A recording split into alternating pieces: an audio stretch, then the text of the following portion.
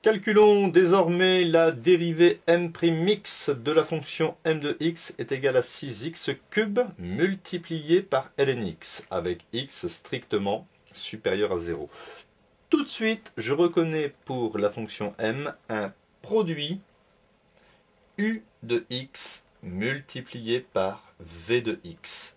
Donc m se présente comme la multiplication de deux fonctions mathématiques dérivables. Je vais réécrire euh, u de x, je vais mettre u.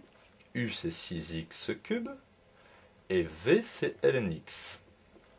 Je vais appliquer la formule de dérivation des produits u'v plus uv'.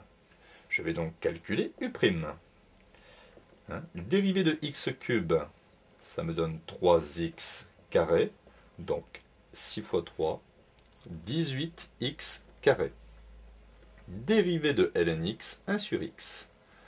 Ainsi, la dérivée m'x est égale u'v, donc 18x carré ln x, plus uv', 6x cube, multiplié par 1 sur x. Vous voyez, je prolonge ici le trait de fraction.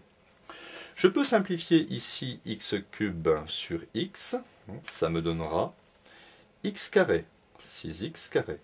Donc je réécris 18x carré ln x plus 6x carré.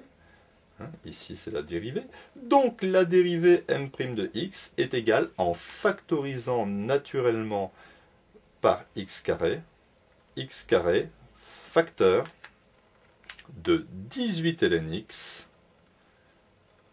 plus 6. Et je souligne le résultat. Toujours essayer de factoriser lorsqu'on peut.